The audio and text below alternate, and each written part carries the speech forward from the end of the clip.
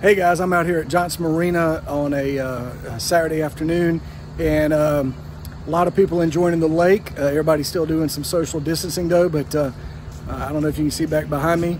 Lots of people filling up, getting gas. Uh, lots of boats getting uh, plopped in here for the weekend to uh, try to get outside and, and avoid being stir crazy.